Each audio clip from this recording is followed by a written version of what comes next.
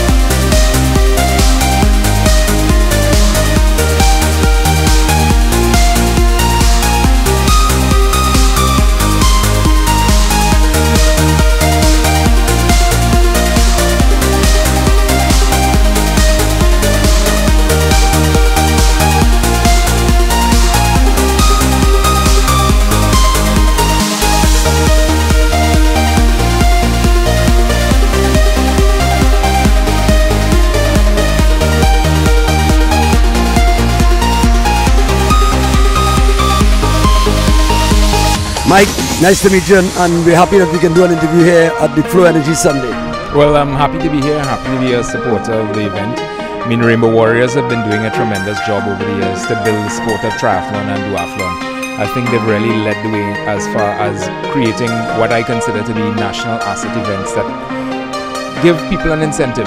It's really that trigger mechanism, that catalyst that creates business for people like myself, like Mike's Bikes, because without the events, nobody would be inspired to go out and buy any of the merchandise or to hire any of the coaches or to buy any supplements or anything like that.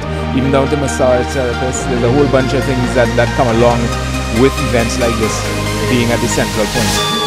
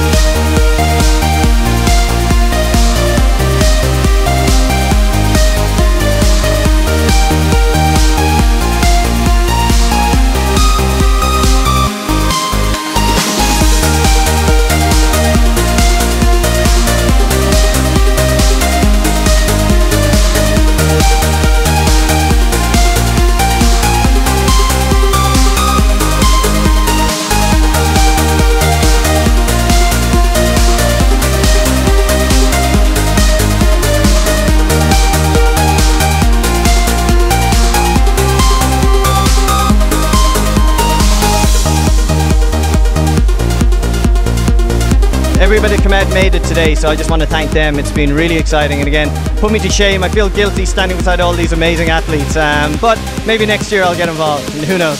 Thank you very much. Thank you. Brian Collins, thank you very much.